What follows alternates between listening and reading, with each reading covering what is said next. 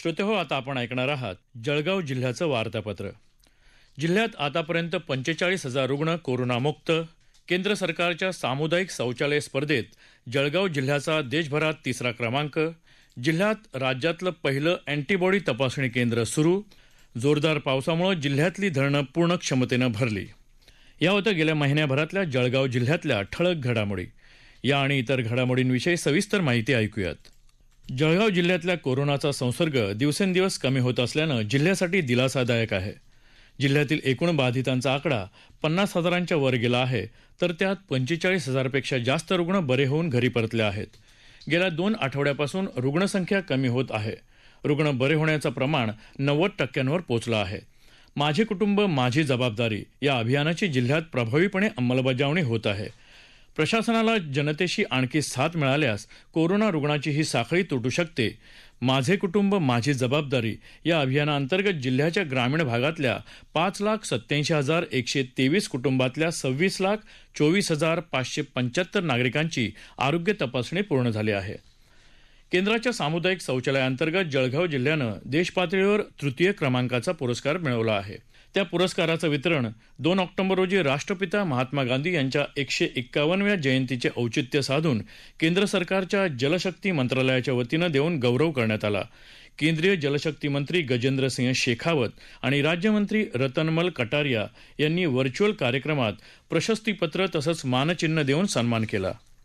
Indian red cross society आणि जळगाव इथल्या तारा कॉम्प्युटराइज laboratory यांच्या संयुक्त विद्यमानं राज्यातल्या पहिल्या अँटीबॉडी तपासणी केंद्राचा शुभारंभ संस्थेचे अध्यक्ष आणि जिल्हाधिकारी अभिजित राऊत यांच्या हस्ते झाला.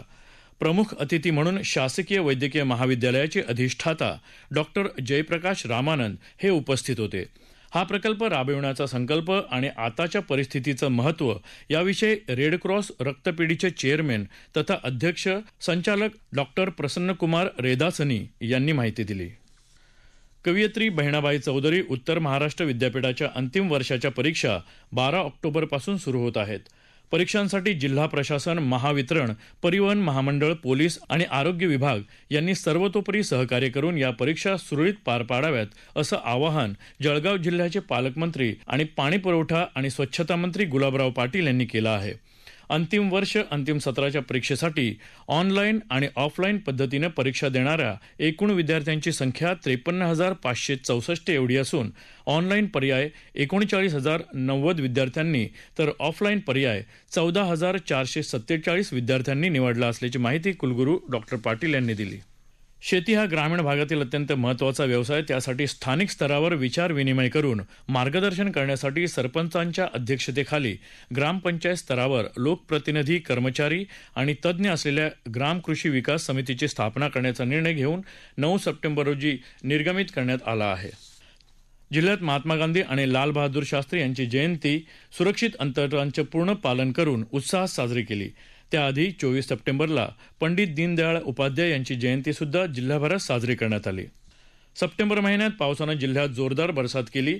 खरीप पिकांवर त्याचा विपरीत परिणाम झाला. शासनातर्फे तातडीने पंचनामे करून नुकसान भरपाईचे आदेश दिले आहेत. चांगल्या पावसामुळे जिल्ह्यातल्या गिरणा वाघूर आणि हतनूर सह सर्व धरणं ओव्हरफ्लो झाल्यानं आगामी पिण्याच्या पाण्याची चिंता दूर झाली आहे. यंदा पाऊस चांगला झाला असला तरी शेतकऱ्यांवरील संकट मात्र काही गेलेलं नाही. अतिपावसामुळे पिकं खराब झाली. तसंच पिकांवर विविध आजारांचा प्रादुर्भाव पडल्यानं पिकांचं मोठ्या प्रमाणात नुकसान झालं. त्यामुळे कर्ज काढून शेती करणाऱ्या शेतकऱ्यांचं मोठं नुकसान झालं असून शेतकरी दुहेरी संकटात सापडला आहे. याबरोबरच जळगाव जिल्ह्याचं वार्तापत्र संपलं. हा कार्यक्रम आकाशवाणी मुंबईच्या प्रादेशिक वृत्त विभागानं सादर केला.